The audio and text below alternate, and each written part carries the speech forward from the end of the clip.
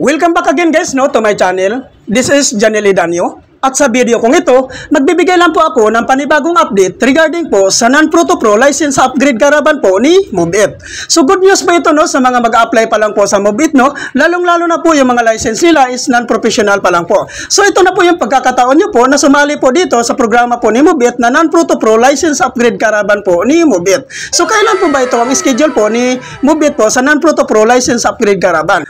So ang panibago pong schedule po ng non-Proto Pro license upgrade caravan po ni Mobit which is uh, October 5, 2024. So bukas po ito guys no, araw po ng Sabado. So kung gusto niyo po mag-apply po, agahan niyo po pagpunta po guys. Dahil po ang opening po ng acceptance ni Mobit which is uh, 7 a.m. to 2 p.m. po guys. Pumunta lang po kayo sa Move Training Facility po. So saan po ito matatagpuan ang Move Training Facility? So ipin location nyo lang po guys sa inyong Google Map po guys no, ang Grab Warehouse Marikina po. So yan na po mismo ang office po ni Move Pasok na lang po kayo sa gate, then nandoon po matatagpuan ang Move Training Facility po sa loob po na mismo ng warehouse. Ano-ano po ba ang mga requirements na kailangan po nating i-prepare? So, ang una-una nyo pong dadalhin na requirements po guys, which is yung uh, existing non-professional driver's license. 6 month and above yung validity po. Yung pangalawa po guys ay 2019 and above motorcycle year model. Then, yung pangatlo naman po guys ay yung motorcycle ORCR.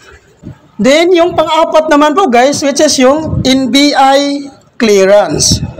Yung panglima naman po guys, which is yung no LTO violation. So kailangan po guys, wala po tayong violation po sa LTO po, no? So ma-check nyo naman po yan guys sa inyong mga uh, portal po guys kung meron po kayong violation po sa LTO portal nyo po. So yung pang-anim naman po, which is yung 1,250 license down payment po. At linawin ko lang din po dito sa inyo guys no na ang non-Proto Pro license upgrade caravan po ni Mubit by schedule lang po ito no. Uh, sana po kung meron pong schedule po ng non-Proto Pro license upgrade caravan so puntahan nyo na po at wag nyo na pong palalagpasin pa dahil pagkakataon nyo na pa ito na makasali po sa programa po ni Mubit na non-Proto Pro license upgrade caravan po. At ang kagandahan po dito guys, no, pag once matanggap po kayo sa araw na yan, so maabil nyo po ang zero commission po ni Mubit for 2 weeks po. Then, makakakuha pa po kayo ng previous po na uh, free seat gear po ni Mubit po. So, napakaganda po dito guys, no. So, wag nyo, wag nyo na pong sayangin po itong pagkakataon na to, no. Uh, thank you for watching.